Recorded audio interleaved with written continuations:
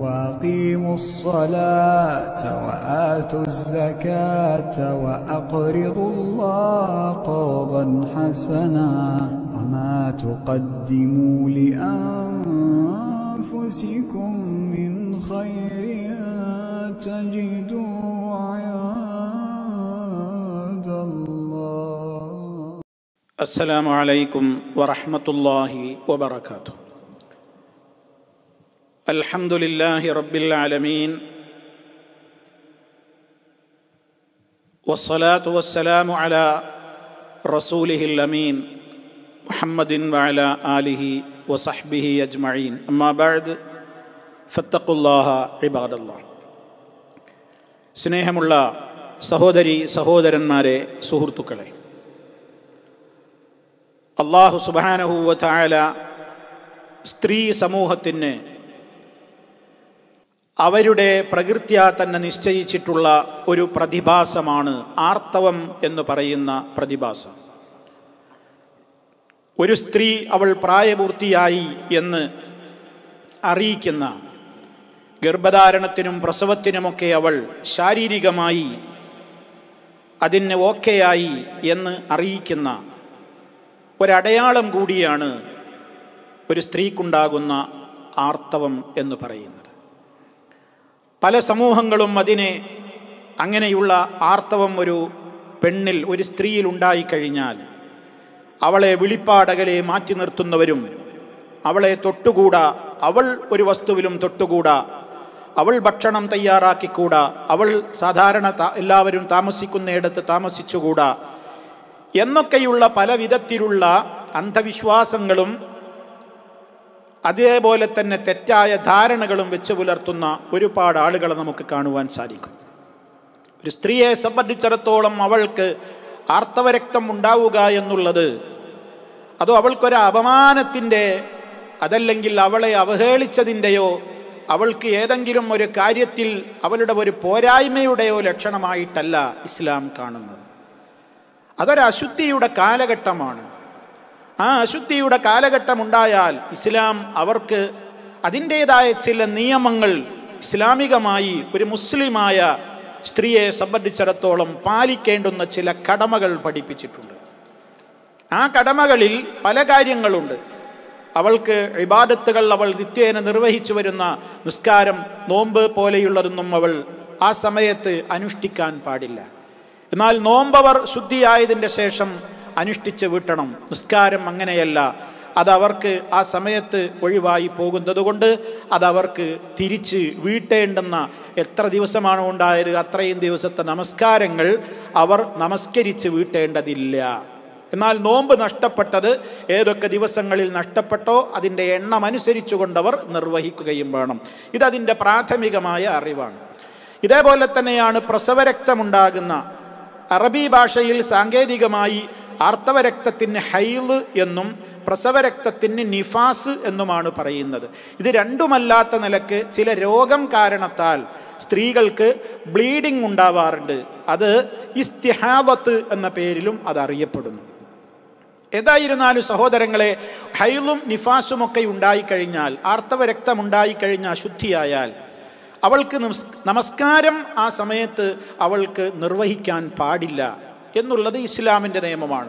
ചിലരെങ്കിലും തനിക്കിപ്പോൾ അർത്ഥവമുണ്ട് അർത്ഥവരക്തമുണ്ട് എന്ന് വീട്ടുകാരറിയുമോ എന്നൊക്കെ വിചാരിച്ചിട്ട് ചില ആളുകൾ അർത്ഥവരക്തം ഉള്ളതോടുകൂടെ തന്നെയൊക്കെ നിസ്കരിക്കുന്നതൊക്കെ ചില വീടുകളിലൊക്കെയുള്ള ആളുകൾ പറയാറുണ്ട്. തെറ്റാണത്. അതൊരിക്കലും അങ്ങനെ ചിന്തിക്കരുത്. ആരറിഞ്ഞാലും അറിഞ്ഞില്ലെങ്കിലും അതൊരു വിഷയമാക്കരുത്. ആർത്തവരക്തമുള്ള ഒരു സ്ത്രീ നമസ്കരിക്കാൻ പാടില്ല എന്നുള്ളത് ഇസ്ലാമിന്റെ നിയമമാണ്. അത് പ്രാഥമിക നിയമമാണ് എന്ന് നമ്മൾ മനസ്സിലാക്കുക. ശരി. ഇനി സഹോദരിമാരെ പ്രത്യേകിച്ച് മനസ്സിലാക്കേണ്ടുന്ന ചില കാര്യങ്ങൾ ഓർമ്മപ്പെടുത്താനുണ്ട്. അതായത് നമുക്കിപ്പോൾ ഈ വേളയിൽ നമസ്കാരം നമുക്ക് ആവശ്യമില്ല. പക്ഷേ നമ്മൾ ചില കാര്യങ്ങൾ മനസ്സിലാക്കണം. ഈ അശുദ്ധിയുടെ കാലഘട്ടം അവസാനിച്ചു കഴിഞ്ഞാൽ അതെപ്പോഴാണ്? അതൊരു സ്ത്രീക്ക് മനസ്സിലാവും. തന്റെ രക്തം ആ രക്തം നിലച്ചിട്ടുണ്ടോ? വന്നുകൊണ്ടിരിക്കുന്ന ആ രക്തം അത് നിലച്ചുവോ? ആർത്തവ രക്തത്തിൽ നിന്ന് ഞാൻ മുക്തി നേടിയോ? എന്ന് ഒരു സ്ത്രീക്ക് മനസ്സിലാവും. അതിന്റെ അടയാളങ്ങളൊക്കെ അവർക്ക് മനസ്സിലാകും. ആ നിലയ്ക്ക് രക്തം നിലച്ചു കഴിഞ്ഞാൽ അവൾ ശുദ്ധിയായി എന്നാണ് അർത്ഥം. അതായത് ആർത്തവത്തിൽ നിന്ന് മുക്തി നേടി.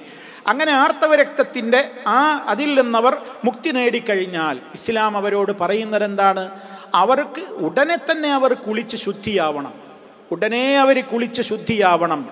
എന്നിട്ടോ ഏത് സമയത്താണോ ശുദ്ധിയായതെങ്കിൽ അവിടം മുതൽക്കുള്ള നിസ്കാരം അവർക്ക് നിർബന്ധമാണ്. നിസ്കാരം അവർക്ക് നിർബന്ധമാണ്. ഉദാഹരണം ഒരാൾക്ക് ഒരാൾക്ക് ആറു മണി വൈകുന്നേരം ആറു മണിക്കാണ് ഒരാൾക്ക് ആർത്തവമുണ്ടായത് ആർത്തവം നിലച്ച് അഥവാ അവർ ശുദ്ധിയായത്. ആറ് മുപ്പതിനോ ആറ് നാൽപ്പതിനോ ഒക്കെയാണ് മകരിബ് ബാങ്ക് വിളിക്കുന്നത്. ആറു മണിക്ക് ആറു മണിക്ക് ശുദ്ധിയായിട്ടുള്ള ഒരു സ്ത്രീ പലപ്പോഴും അവരുടെ ഉദാസീനതയും അലംഭാവവും കാരണത്താൽ കുളിച്ച് ശുദ്ധി വരുത്താതെ കുളിച്ച് ശുദ്ധി വരുത്തി അവർ ഉടനെ അസർ നമസ്കരിക്കേണ്ടതാണല്ലോ നിർബന്ധമാണല്ലോ അവർക്ക്. ആ അസർ പോലും നിസ്കരിക്കാതെ കുറേ വൈകി പിന്നീട് മഹരിബിന്റെ സമയത്തൊക്കെ കുളിച്ച് പിന്നീട് ഒരു വേള മഹരിബ് മുതൽക്കൊക്കെ നിസ്കാരം തുടങ്ങുന്ന സഹോദരിമാരില്ലേ? ഗൗരവമല്ലേ സുഹൃത്തുക്കളെ ആലോചിക്ക്. എപ്പോഴാണോ ശുദ്ധിയായത് അവിടം മുതൽ അവൾക്ക് നിസ്കാരം നിർബന്ധമായി എന്ന് മനസ്സിലാക്കണം. പലരും ചിന്തിച്ചതെന്താ? ഞാൻ എന്റെ സൗകര്യത്തിന് എപ്പോഴാണോ കുളിച്ച് ശുദ്ധിയാകുന്നത് അവിടെ മുതൽക്കാണ് എന്റെ നിയമങ്ങൾ എന്നാരും തെറ്റിദ്ധരിക്കരുത്. നമ്മൾ എപ്പോൾ കുളിച്ച് ശുദ്ധിയാകുന്നു എന്നുള്ളതല്ല മാനദണ്ഡം. നമ്മുടെ രക്തം എപ്പോൾ ആ രക്തത്തിൽ നിന്ന് നമ്മൾ എപ്പോൾ മുക്തിയായി നമ്മൾ അതിൽ നിന്ന് വിരമിച്ചു ശുദ്ധിയായി എന്നുള്ളതാണ് നോക്കേണ്ടത്. ഉടനെ ശുദ്ധിയാവൽ നമ്മുടെ കടമയാണ്. അപ്പോൾ സഹോദരിമാരെ മനസ്സിലാക്കണം. ഒരാൾ മകരിബിക്ക് ശേഷമാണെങ്കിൽ അവരെ സംബന്ധിച്ചിടത്തോളം ആ മകരിബ് മുതൽക്ക് അവർക്ക് നിർബന്ധമായി പിന്നെ ഇഷ അങ്ങനെ പോവുകയാണ്. ഒരാൾ സൂര്യൻ ഉദിക്കുന്നതിന്റെ തൊട്ട് മുമ്പാണ് ഒരാൾ ശുദ്ധിയായതെങ്കിൽ തൊട്ട് മുമ്പാണ് ഒരാൾ ശുദ്ധിയായതെങ്കിൽ അത് സുബഹിയുടെ സമയമാണല്ലോ. അവരെന്ത് ചെയ്യണം? അവർ ഉടനെ കുളിച്ച് ശുദ്ധി വരുത്തി അവർ സുബഹി ഉടനെ നിസ്കരിക്കണം. സുബഹി ഉടൻ അനുസ്കരിക്കണം. സൂര്യോദയത്തിലേക്ക് വൈകിപ്പിക്കരുത്. എത്രയും പെട്ടെന്ന് കുളിച്ച് ശുദ്ധി വരുത്തി അവർ സുബഹി നിസ്കരിക്കണം. ലുഹറിന്റെ ശേഷമാണോ ആയത്? അവർ ഉടനെ തന്നെ എപ്പോഴാണോ അവർ ശുദ്ധിയാകുന്നത്? ഉടനെ കുളിച്ച് ശുദ്ധി വരുത്തി ആ സമയത്തുള്ള നമസ്കാരങ്ങൾ അവർ നിർവഹിക്കണം. അത് നീട്ടിവെക്കുന്ന എത്രയോ സഹോദരിമാരുണ്ട്. ഈ ശബ്ദം ശ്രവിക്കുന്ന ഓരോ സഹോദരിയും ആലോചിക്കുക. ഞാൻ ആ വിഷയത്തിൽ എത്രത്തോളം ശ്രദ്ധിക്കാറുണ്ട്? എന്റെ രക്തം നിലച്ചു കഴിഞ്ഞു എന്നെനിക്ക് മനസ്സിലായാൽ ഏത് സമയത്താണതെങ്കിൽ ആ സമയത്തുള്ള നമസ്കാരം നിർവഹിക്കൽ എനിക്ക് നിർബന്ധമാണ്. ഞാൻ എപ്പോൾ കുളിക്കുന്നു എന്നുള്ളതല്ല മാനദണ്ഡം. എപ്പോൾ എന്റെ രക്തം നിലച്ചു ഉടനെ ഞാൻ കുളിച്ച് ശുദ്ധി വരുത്തണം എന്നിട്ട് ആ സമയത്തുള്ള നിസ്കാരം നിർവഹിക്കണം.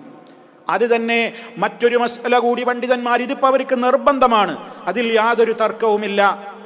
എന്നാൽ എന്നാൽ നിങ്ങൾ ആലോചിച്ചു നോക്കൂ ഒരു സ്ത്രീയെ സംബന്ധിച്ചിടത്തോളം രണ്ട് നിസ്കാരങ്ങൾ ഒരുമിച്ച് നിസ്കരിക്കാവുന്ന നിസ്കാരങ്ങളുണ്ടല്ലോ ഇസ്ലാമിൽ. ഇപ്പൊ കാരണങ്ങളുള്ളവർക്ക് പ്രതിബന്ധങ്ങളുള്ളവർക്ക് രോഗിയാണ് എന്ന് സങ്കല്പിക്കുക യാത്രയിലാണെന്ന് സങ്കല്പിക്കുക അഥവാ മുസാഫിറാണ് എങ്കിൽ ചില നമസ്കാരങ്ങളെ രണ്ട് നേരത്തെ നിസ്കാരങ്ങൾ ഒരുമിച്ച് നിസ്കരിക്കാം ജം ചെയ്യാം. ഇത് ഇസ്ലാമിലെ നിയമമാണ്. അങ്ങനെ ജമ്മ് ചെയ്യാവുന്ന നിസ്കാരങ്ങളുണ്ട് ജമ്മ് ചെയ്യാൻ പാടില്ലാത്ത നിസ്കാരങ്ങളുണ്ട്. ഇപ്പൊ സുബഹിയും ലുഹുറും തമ്മിൽ ജമ്മാക്കാൻ പാടില്ല. സുബഹി ഇഷായിനോടും ജമ്മാക്കാൻ പാടില്ല. ഇഷയും സുബഹിയും കൂടെ ജമ്മാക്കുക അങ്ങനെ ഒരു നിസ്കാരമല്ല. സുബഹി അങ്ങനെ ജം ആക്കാൻ പറ്റാത്ത നിസ്കാരമാണ്. അതുപോലെ തന്നെ അസറും മകരിബും തമ്മിൽ ജമ്മാക്കാൻ പറ്റില്ല. അസറും മകരിബും തമ്മിൽ ജമ്മാക്കാൻ പറ്റില്ല. മകരിബും ഇഷാവും തമ്മിലേ ജമ്മാക്കാൻ പറ്റുകയുള്ളൂ. ഇഷയും സുബഹിയും തമ്മിൽ ജമ്മാക്കാൻ പറ്റുകയില്ല.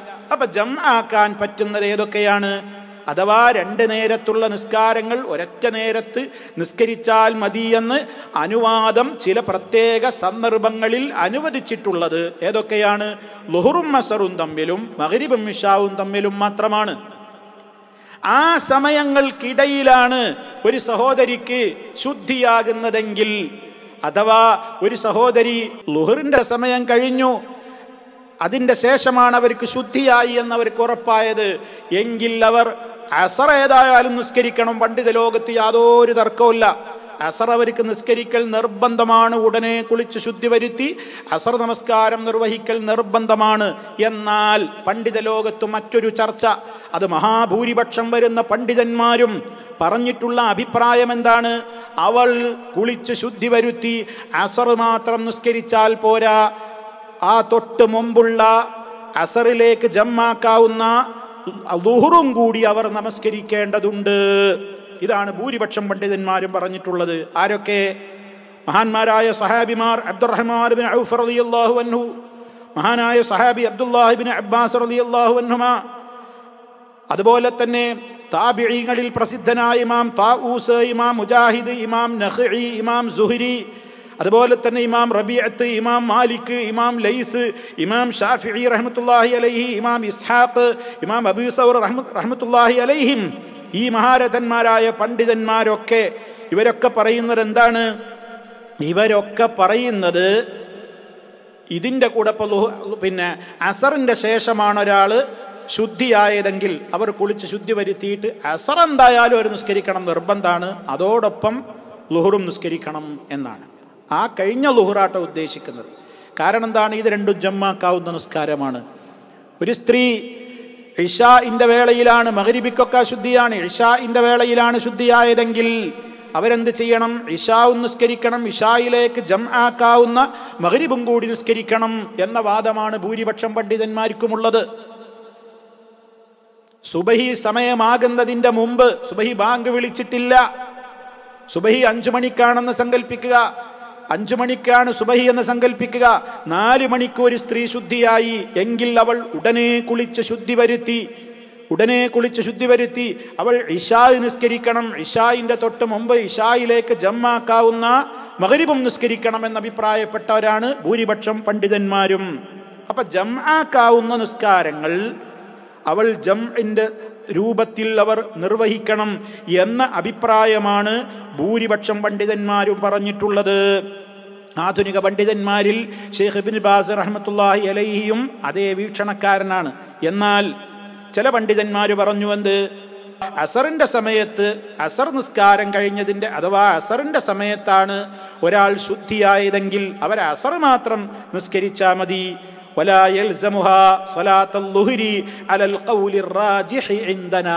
നമ്മുടെ അടുക്കൽ ബലപ്പെട്ട അഭിപ്രായമനുസരിച്ച് അവൾ ലുഹുർ നിസ്കരിക്കൽ അവൾക്ക് നിർബന്ധമുണ്ട് എന്ന് പറഞ്ഞുകൂടാ. അവൾക്ക് തുഹർ നിസ്കരിക്കൽ നിർബന്ധമില്ല. ഇതാണ് പിന്നെ ചില പണ്ഡിതന്മാരുടെ അഭിപ്രായം. എന്തായിരുന്നാലും സൂക്ഷ്മതക്ക് നല്ലത് എന്താണ് സഹോദരങ്ങളെ? പണ്ഡിതന്മാർ പറയുന്നുണ്ട് അൽ അഹ്വത്തു ഇതിലേറ്റവും സൂക്ഷ്മമായ അഭിപ്രായം ഹുവൽ അമലു ബിഖൗലി ജംഹൂരിൽ ഉലമാ. ഭൂരിപക്ഷം പണ്ഡിതന്മാരുടെയും വാക്കനുസരിച്ച് പ്രവർത്തിക്കലാണ് ഏറ്റവും നമുക്ക് നല്ലത്. കാരണം അതിന് ചില പണ്ഡിതന്മാർ പറയുന്നത് ഇപ്പൊ അസറിന് ശുദ്ധിയായ ഒരു സ്ത്രീ. ചിലപ്പോൾ അവൾ അപ്പോഴായിരിക്കും അവളത് മനസ്സിലാക്കിയിട്ടുണ്ടാവുക.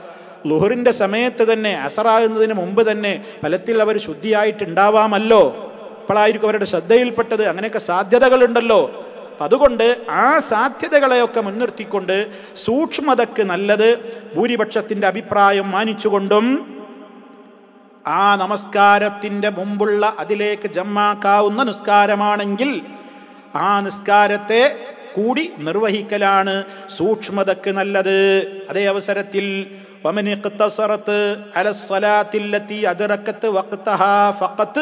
ഫനർജു അല്ലാ യകൂന അലൈഹ ഹറജുൻ ഈ വിഷയകമായി പത്തുവ നൽകിയിട്ടുള്ള പണ്ഡിതന്മാർ പറയുന്നു ഇനി ഒരാൾ ഒരു സ്ത്രീ അവൾ ശുദ്ധിയായ ആ സമയം മാത്രമേ നിർവഹിച്ചുള്ളൂ ആ നമസ്കാരം മാത്രമേ അവൾ നിർവഹിച്ചുള്ളൂ അതിൽ ചുരുക്കി ജമ്മാക്കാവുന്ന തൊട്ടു മുമ്പുള്ള നമസ്കാരം അവർ നിർവഹിച്ചില്ല എന്ന് വന്നാൽ ഫനർജു അല്ലായക്കൂന അലിഹ ഹർജുൻ അവളൊരു കുറ്റക്കാരിയായി എന്ന് നമുക്ക് പറയാൻ കഴിയില്ല കഴിയില്ല. അപ്പം അതുകൊണ്ട് തന്നെ ഒരു കുറ്റമ കുറ്റമൊന്നുമല്ലെങ്കിലും സൂക്ഷ്മതക്ക് നല്ലത് എന്താണ്? ഇത്തരത്തിലുള്ള അവസരങ്ങളിൽ ശുദ്ധിയായി കഴിഞ്ഞാൽ ഉടനെ തന്നെ നമ്മൾ എന്ത് ചെയ്യലാണ്? ആ നിസ്കാരം എന്തായാലും നിർവഹിക്കണം. അതിലേക്ക് ജമ്മാക്കാവുന്ന നിസ്കാരമാണെങ്കിൽ അത് അടിവരയിട്ട് മനസ്സിലാക്കുക. ജമ്മാക്കാവുന്നത് ഏതൊക്കെയാണ് ഞാൻ നേരത്തെ പറഞ്ഞു കഴിഞ്ഞു. അതും കൂടെ നിർവഹിക്കലാണ് സൂക്ഷ്മതക്ക് നല്ലത്. ഇത് പണ്ഡിത ലോകത്ത് അഭിപ്രായ വ്യത്യാസമുള്ളൊരു മസലയാണ്. എന്ത്? മുമ്പത്തേത് വേണോ വേണ്ടേ എന്നുള്ളതിൽ അഭിപ്രായ വ്യത്യാസമുണ്ട് എന്നർത്ഥം. ഏതായിരുന്നാലും ഇത് സഹോദരിമാരെ ശ്രദ്ധിക്കുക. നിസ്കാരത്തിന്റെ കാര്യമാണ്. നാളെ പരലോകത്ത് കർമ്മരംഗത്ത് കർമ്മങ്ങളുടെ കൂട്ടത്തിൽ ആദ്യത്തെ വിചാരണ നിസ്കാരത്തെക്കുറിച്ചായിരിക്കും അഞ്ചു നേരത്തെ നിസ്കാരത്തെക്കുറിച്ചായിരിക്കും ഇതിലൊക്കെ അലംഭാവം കാണിക്കുന്ന എത്രയോ സഹോദരിമാരുണ്ട്. അവരുടെ സൗകര്യത്തിനനുസരിച്ച് അവർ ശുദ്ധിയായി എപ്പോഴെങ്കിലുമൊക്കെ കുളിച്ചു ഒന്നാകെയാണ് കഥാ വീട്ടുക എന്നാ പറയാ. അങ്ങനെ ഉണ്ടോ എല്ലാം കഴിച്ച് ചിലപ്പോൾ നേരത്തെ ശുദ്ധിയായിട്ടുണ്ടാകും. എന്നിട്ട് സുബൈ നിസ്കരിക്കൂല അതും കഴിഞ്ഞ് ലുഹറുമില്ല ഒക്കെ കഴിഞ്ഞിട്ട് പിന്നെ ലുഹറൊക്കെ കഴിഞ്ഞ് വീട്ടിലെ പണിയും ആ കാര്യങ്ങളൊക്കെ ഒതുങ്ങി കഴിഞ്ഞ് കുളിച്ച് ശുദ്ധിയായി. പിന്നെ അസർ മുതൽക്കെല്ലാം കൂടി ഒരു നിസ്കാരമാണ് നിസ്കരിക്കുന്ന രീതി. എത്ര കടുത്ത അപരാധവും നരകത്തിലേക്ക് തള്ളിവിടുന്ന പ്രവർത്തനവുമാണ് മുസ്ലിം സഹോദരിമാരെ അത്. നമ്മൾ ആലോചിക്കണം ഗൗരവമാണ്. അതേപോലെ തന്നെ പ്രസവിച്ച് കിടക്കുന്ന സഹോദരിമാർ നിഫാസ് രക്തത്തിന്റെ പേരിൽ നാൽപ്പതും അറുപതും തൊണ്ണൂറുമൊക്കെ വരെ നിസ്കാരം ഒഴിവാക്കിക്കൊണ്ട് ഇങ്ങനെ കിടക്കുന്ന സഹോദരിമാരുണ്ട്. എന്താണ് ഇസ്ലാമിന്റെ നിയമം? പ്രസവരക്തം എപ്പോൾ അവസാനിച്ചോ? അതെപ്പോഴും അവസാനിക്കാം. പ്രസവം നടന്ന് ചിലപ്പോൾ ഒരു ദിവസമോ രണ്ട് ദിവസമോ അധികമൊന്നും വേണ്ടി വരില്ല. കുറഞ്ഞ സമയം കൊണ്ട് ചിലപ്പോൾ പറ്റ തീർന്നു എന്ന് വരും. ചിലപ്പോൾ ഒരു നാൽപ്പത് വരെയൊക്കെ ആവാം. അങ്ങനെയൊക്കെ സംഭവിക്കാം. പക്ഷേ ഒരു സ്ത്രീ പടച്ചറബിനെ ഭയപ്പെടുന്ന ഒരു സ്ത്രീ അള്ളാഹുവിന്റെ മുമ്പിൽ ഞാൻ ഉത്തരം പറയേണ്ടി വരുമെന്ന് റബ്ബിനെ ഭയപ്പെടുന്ന ഒരു മുസ്ലിം സഹോദരി അവൾ ആലോചിക്കണം അവൾ പരിശോധിക്കണം. താൻ എപ്പോഴാണ് രക്തത്തിൽ നിന്ന് വിരമിച്ചത്? പ്രസവരക്തം എപ്പോൾ നിന്നു? അതിന് ദിവസം കണക്കൂട്ടേണ്ടതില്ല. ഏഴോ പതിനാലോ നാൽപ്പതോ എന്ന ഇരുപത്തെട്ടോ നാൽപ്പതോ അറുപതോ തൊണ്ണൂറോ എന്ന് കണക്കില്ല. എപ്പോഴാണ് അത് അവസാനിച്ചത്? ഉടനെ അവർ ശുദ്ധി വരുത്തി. അവരുടെ നിസ്കാരങ്ങൾ അവർ നിർവഹിക്കണം. ഒരു വീഴ്ചയും സഹോദരിമാരെ അതിൽ വരുത്തരുത്. ഇരുനാൾ പരലോകത്ത് റബ്ബിന്റെ കോടതിയിൽ നമുക്ക് നമ്മുടെ അമലുകളുടെ കൂട്ടത്തിൽ വിചാരണ ചെയ്യപ്പെടുമ്പോൾ നിന്റെ ഉദാസീനത കൊണ്ട് നീ കുളിക്കാൻ വൈകിയത് കൊണ്ട് നിന്റെ അലസത കൊണ്ട് നീ അത് കാര്യമായി എടുക്കാത്തത് കൊണ്ട് ഏറ്റവും പരമപ്രധാനമായ നിസ്കാരം കുഫറിന്റെയും ഷിർക്കിന്റെയും ഇസ്ലാമിന്റെയും ഇടയിലുള്ള അതിർവരമ്പായി പറഞ്ഞ നിസ്കാരം എന്തൊഴിവാക്കിയാലും അതൊരു കുഫറായിട്ട് ഞങ്ങളുടെ കാലഘട്ടത്തിൽ കണ്ടിരുന്നില്ല. നിസ്കാരം ഒഴിവാക്കിയാലോ? അത് കാഫിറായി പോകുന്ന ആ രീതിയിലും ഭീതിയിലുമാണ് ഞങ്ങൾ കണ്ടിരുന്നതെന്ന് സ്വഹാബത്ത് പറഞ്ഞിട്ടുള്ള ആ നിസ്കാരം. സഹോദരിമാരെ ആലോചിക്കണം. ഓരോരുത്തരും ആലോചിക്കുക ഇതുവരെ വല്ല അപാകതകളും സംഭവിച്ചുവോ? റഹ്മാനായ റബ്ബിനോട് പറയുക ഇനിയുള്ള ജീവിതത്തിൽ വളരെ കണിശത പുലർത്തുക. റബ്ബു സുബാനഹുവ താല ആ അർത്ഥത്തിൽ നമുക്ക് അതിന് തൗഫീഖ് തരട്ടെ എന്ന് അള്ളാഹുവിനോട് നമ്മൾ നിരന്തരമായി പ്രാർത്ഥിച്ചു കൊണ്ടിരിക്കണം. അതേപോലെ തന്നെ സുഹൃത്തുക്കളെ അതുമായി ബന്ധപ്പെട്ടുകൊണ്ട് ഒരൊറ്റ കാര്യം കൂടി പറഞ്ഞുകൊണ്ട് ഞാൻ അവസാനിപ്പിക്കുകയാണ്. ഒരു സ്ത്രീ ലോഹറിന്റെ സമയമായി അല്ലെങ്കിൽ ഏതെങ്കിലും ഒരു നിസ്കാരത്തിന്റെ സമയത്തിലേക്ക് പ്രവേശിച്ചു ബാങ്ക് വിളിച്ചു. ഒരു അരമണിക്കൂർ ഒരു മണിക്കൂറൊക്കെ കഴിഞ്ഞു. അല്ലെങ്കിൽ ഒരു അരമണിക്കൂറൊക്കെ പിന്നിട്ടിട്ടേ ഉള്ളൂ. നിസ്കരിക്കാനുള്ള സമയം അവർക്ക് ഉണ്ടായിരുന്നു. പക്ഷെ അവർ നിസ്കരിച്ചില്ല. ആ നിസ്കാരത്തിന് അവരെ പിന്നെ ആവാലോ എന്ന് വിചാരിച്ചിട്ട് അങ്ങനെയുണ്ട്. കുറച്ചങ്ങോട്ട് വൈകിപ്പോയി. പക്ഷേ നിസ്കരിക്കാൻ വേണ്ടി പിന്നെ അവർ ഉതുണ്ടാക്കാൻ അവരതിനു വേണ്ടി തയ്യാറാകുമ്പോഴാണ് അവർക്ക് മനസ്സിലായത്. അവർക്ക് അതാ മെൻസസ് ആരംഭിച്ചിരിക്കുന്നു. എന്താണ് അവരുടെ വിധി? പണ്ഡിതന്മാർ കൃത്യമായി തന്നെ പറഞ്ഞു. അവർ ആ നമസ്കാരം നിർവഹിക്കണം എപ്പോൾ? അശുദ്ധിയോടുകൂടെ നിർവഹിക്കാൻ പറ്റില്ലല്ലോ. ഇപ്പോൾ ലുഹറിന്റെ സമയത്ത് കഴിഞ്ഞൊരു ഒരു മണിക്കൂർ കഴിഞ്ഞിട്ട് പിന്നെ നിസ്കരിക്കാനൊക്കെ അവരുടെ എല്ലാ ജോലിയൊക്കെ കഴിഞ്ഞ് നിസ്കരിക്കാൻ ഒരുങ്ങിയപ്പോഴാണ് ഇങ്ങനെ സംഭവിക്കുന്നത്. അപ്പോൾ എന്ത് ചെയ്യണം? അതവിടെ മനസ്സിൽ കണക്ക് വെക്കണം. ഒരു ലുഹർ തന്റെ മേൽ നിർബന്ധമുണ്ട്. അതുകൊണ്ട് ഇനി അവരെന്ത് ചെയ്യണം? ആ അശുദ്ധിയിൽ നിന്ന് അവരെപ്പോൾ ശുദ്ധിയായി കുളിച്ച് ശുദ്ധി വരുത്തുന്നുവോ? ഈ നിസ്കാരം ആദ്യം അവർ നിർവഹിക്കണം. അതവരുടെ മേൽ ബാധ്യതയായ ഒരു ഫറലായിട്ട് അവിടെ കിടക്കുന്നുണ്ട്. അതുകൊണ്ടാണ് സമയമായ ഉടനെ നിർവഹിക്കാൻ വേണ്ടി പറയുന്നത്. സമയമായി കഴിഞ്ഞാൽ അവൽ വക്കത്തിൽ നിർവഹിക്കാൻ ചാൻസ് കിട്ടുന്നുണ്ടോ? ഉടനെ അത് നിർവഹിക്കുക. ഉടനെ അത് നിർവഹിക്കുക. പ്രത്യേകിച്ച് ഇപ്പം സ്ത്രീകളെ സംബന്ധിച്ചിടത്തോളൊക്കെ അവർക്ക് ഏകദേശം ഒരു ധാരണ ഉണ്ടാവുമല്ലോ. ഏകദേശം ഒരു ധാരണ ഉണ്ടാകും. ഒരു മാസത്തിൽ അവരുടെ മാസമുറ ആരംഭിക്കുന്ന ദിനങ്ങൾ. ഇപ്പോഴാണ് തുടങ്ങാൻ സാധ്യത. അത്തരം ദിവസങ്ങളിൽ പ്രത്യേകിച്ചും. ആ വിധത്തിലുള്ള സൂക്ഷ്മത കാത്തു സൂക്ഷിക്കണമെന്നാണ് എനിക്ക് എന്റെ പ്രിയപ്പെട്ട സഹോദരിമാരോട് പറയാനുള്ളത്. ഇത്തരം വിഷയങ്ങളൊക്കെ പലപ്പോഴും ലജ്ജ കാരണത്താൽ പലരും ചോദിക്കില്ല പഠിക്കില്ല മനസ്സിലാക്കില്ല. പക്ഷേ അള്ളാഹുവിന്റെ ദീനിന്റെ കാര്യം ലജ്ജ കൂടാതെ പറയണമല്ലോ മനസ്സിലാക്കണമല്ലോ. കാരണം ഇത് നമ്മുടെ മരണാനന്തര ജീവിതത്തിന്റെ വിജയ പരാജയങ്ങളുടെ മാനദണ്ഡമാണ് എന്ന് മനസ്സിലാക്കിക്കൊണ്ട് ഗൗരവത്തോടുകൂടെ ഇത് ഉൾക്കൊള്ളണം എന്ന് ഓർമ്മപ്പെടുത്തിക്കൊണ്ട് നാഫി ആയ ഇൽമ് ഉപകാരപ്രദമായ അറിവ് റബ്ബു നമുക്കെല്ലാവർക്കും പ്രദാനം ചെയ്യുമാറാകട്ടെ എന്ന് പ്രാർത്ഥിച്ചുകൊണ്ടും ഞാൻ എന്റെ വാക്കുകൾ അവസാനിപ്പിക്കുകയാണ്. അള്ളാഹു സുബാനഹുവ താല നന്മ അധികരിപ്പിച്ചുകൊണ്ട് മുന്നോട്ട് പോകുവാൻ സർവ തിന്മകളിൽ നിന്നും വിട്ടുനിൽക്കുവാനുള്ള യഥാർത്ഥത്തിലുള്ള തക്കുവയും ഹൗഫും റബ്ബിനെ ഭയപ്പാടും നമ്മുടെ എല്ലാ മനസ്സുകളിൽ നിലനിർത്തി തരുമാറാകട്ടെ. ഈമാനോടുകൂടെയുള്ള ഒരന്ത്യം റബ്ബ് നമുക്കെല്ലാം അവന്റെ പ്രത്യേകമായ ഔദാര്യം മുഖേന നൽകുമാറാകട്ടെ. മാരക രോഗങ്ങളിൽ നിന്ന് കാത്തിരക്ഷിക്കുമാറാകട്ടെ. റബ്ബന തക്കബൽ മിന്ന ഇന്നക്കാന്ത സമീഉൽ അലീം. അള്ളാഹുമ്മ സല്ലി അല മുഹമ്മദിൻ വഅല ആലി മുഹമ്മദ്. വസ്സലാമു അലൈക്കും വറഹ്മത്തുള്ളാഹി വബറകാതുഹു.